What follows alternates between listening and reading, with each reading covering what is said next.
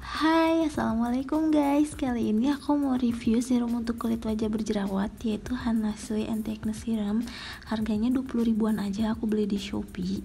Dengan harga segitu udah pakai botol kaca dan ada pipetnya gini. Keren keren banget.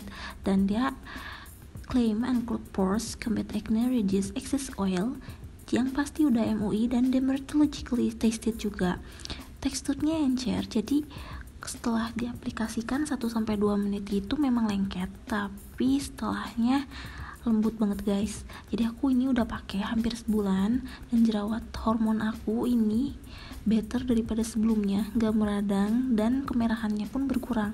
Nanti aku akan update hasil yang setelah sebulan ya guys.